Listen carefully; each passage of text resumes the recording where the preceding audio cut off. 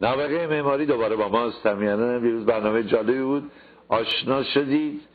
با یکی از حیرت انگیزترین بناهای موجود در دنیا.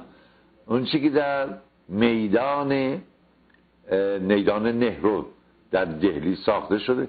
یکی از دوستان من میگو سوار تاکسی شده گفتم که منو ببر به محله پارسی ها یا ایرانی ها مستقیم آواز جلوی تمپل پیاده کرد. و خیلی برام جالب بود. تو آقای چی؟ بالی زاده. دو سوار تاکسی شدم وقتی گفتم محل ایرانی ها یا پارسی ها مستقیم منو برد به اینجا. سلام بر شما. سلام از کنم خیلی خوشبختم. حال شما خوبه؟ خسته نباشی؟ خیلی ممنونم. خیلی متشکرم. خسته نباشی. چقدر برنامه مورد توجه قرار گرفت؟ و جالبه 99 درصد کسانی که با ما تماس گرفتن یا ایمیل زده بودن یا تلفن یا پیامگیر اصلا آگاه نبودن که بابا. این میگن این عکس رو بارها دیده بودن. ولی هرگز فکر نمی کردن که سازندش ایرانی ها باشه. سازندش یک آرشیتکت سرشناس ایرانی به نام آقای فریبرز نکنی این خود شما بیش از حد فروتن. و خاک خاکی هست نه خیر. براد خیلی متشکرم. این آه این اصلا چه سالی افتتاح شد؟ یه بار دیگه توضیح بدی. 1986 1986 در دسامبر 1986 افتتاح شد و در یک خیلی در حدود ده هزار نفر از دور تا دور دنیا آمده بودند و در اون مراسم. و این موسیقیدان مشهور هند آقای راوی شانکار یک بر موسیقی فوق العاده زیبایی نوشته بودند برای این اجرا شد. و بعد هم از اون تاریخ در دیگه روزنامه ها و جراید و مجلات مختلف معماری دنیا خیلی به این اهمیت داده شد. بله. خب یک از چیزا دوباره نشون میدین اونجا رو خواهش می‌کنم. یک بار دیگه. چرا با صفاست نه اون تصویر اصلی رو. خب این که من می‌بینم کار اثر جنابالی است. الهام گرفته شده از شکل و خیعت یک گل زیبا و حیرت انگیز به نام نیلوفر آبی. اما ما یک باغی رو می‌بینیم که این ساختمان رو احاطه کرده. مجموعه و یه سیستم آبیاری حیرت انگیز جاده هایی که به این ساختمان محدود از هر سو. این رو که ایجاد کرد این باغ رو. بله. خود من طراحی کردم و واقعا باغ خودتون. بله بله باغ کار من بود. و من حقیقتا اساس اون باغ هم اگه ملاحظه بفرمایید مثل باغ ورودی تاج محل مثل باغهای معلق کشمیر بله. حقیقتا باغهای ایرانی دقیقا روی اساس باغهای ایرانی است و به طور کلی اگر که جای طرح شما این ساختمان رو اگر ببینید می‌بینید تمام اصول این ساختمان روی اساس معماری حتی گنبد داخلی این ساختمان رو که دیروز اسلاید هاشو دارن اگر بتونید اسلاید گنبد داخل رو نشون بدید گنبد داخل رو. می‌بینید این در واقع عینا از به نحوی کاملا به نحو خیلی انقلابی از حالت تاسونینتاس های شما ببینید تاسونینتاس در گنبت های ایرانی در این استفاده از منتها به طوری که تاس ها به صورت این تاس و نیم تاس باز هستن و نور از توشون میاد. که ملازم بله. اگر نه اساس همون اساس گنبد ایران است که چطور ما از به,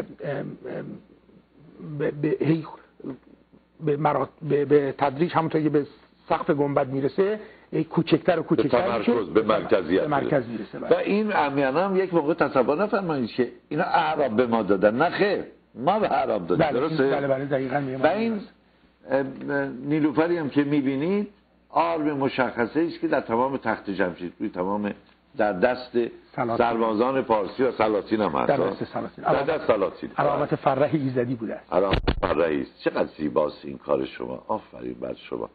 آقای صحبای عزیزم. خب ایرانی ها مشهرن به باغسازی.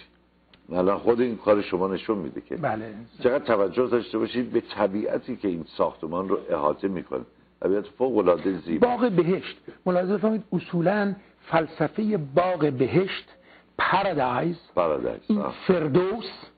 این همونطور که شما در اول بیاناتون میفرمودید واقعا از دوره هخامنشی. حتی بیش از اون ما از چهار هزار سال قبل از مسیح چهار هزار سال. قبل از مسیح ایده باغ بهشت از ایران رفته است به دنیا. و این حتی پردایس و از اوستا به یونان رسیده است و بعد باغ به تبدیل شده است به پر، پردایس پریزاد.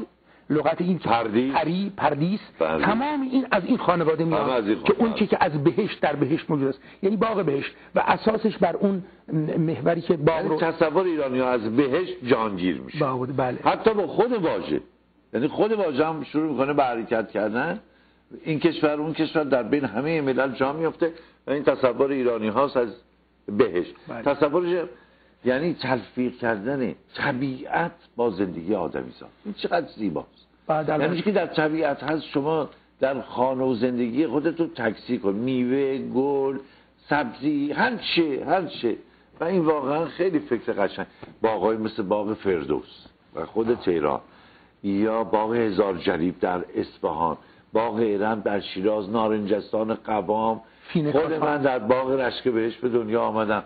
همسایه باغ ارم فین کاشان حضور که از کنم باغ بلقیس اصلا باغهای مغول در در هندوستان باغهای مغول در. هندوستان تمام فقط باغ ایرانی هستن. باغ هم هم ایرانی ها ساختن دیگه. مهندسین ایرانی و بله. چون سلاطین مغول که آمدن به ایران فرهنگ ایران رو گرفتن و برگشتن به هندوستان اگر اونا که اصلا باغسازی و معماری نداشتن. این فرهنگ رو گرفتن برگشتن به هندوستان و به هندوستان منتقل کردن. تاج محل باغ تمام ورودی باغ بر. اساس باغ بهشت همون که دو محور اصلی تبدیل میشه به یعنی در واقع به چهار باغ. ایده چهار باغ. بله. خود ببینم آقای مهندس وقتی که در امارت تاج محل ایستادید میشه چی رو دید؟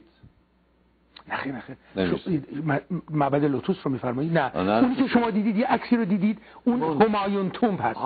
قبر شاه اه، همایون هست آه. که در دهلی است و شما از وقتی عکسش رو در چیز هست که اون عکاس بسیار مشهور هندوستان به نام راگو رای گرفته است که شما همایون توم رو می‌بینید و در پشتش آه بله. چقدر زیبا سونه بله. چقدر زیبا خب به بنده بفرمایید که من رفتم روی الان با آقای امیر مهندس شهرتی کارگردان برنامه رفتیم روی اینترنت. زدیم Persian garden باغ ایرانی. gardens gardens. باغهای ایران آه؟ زدیم. تصاویری آمد فکر کنم ده تا عکس آمد ده کنار هم دیگه. یکی شش تا عکس میاد. اولی باغ بله. میدان شاه اصفهان باغ فین کاشان باغ ارم در شیراز و سه باغ دیگهش که مال من هست ایناست؟ بله بله. نه این نه، نه، این نیست. نه این نیست. اون یکی. شما فقط بزنید Persian gardens. بله Persian gardens بزنید میاد اون Persian gardens رو بزنیم امیرانم آه نه نه. Persian اینم gardens البته می‌بینید یکی باغ فین کاشان هست بقیهش سه تاش باغ من هست. ولی این می- میرن روی اه، اون gardens S داره آخرش. S رو بزنی امیر جان.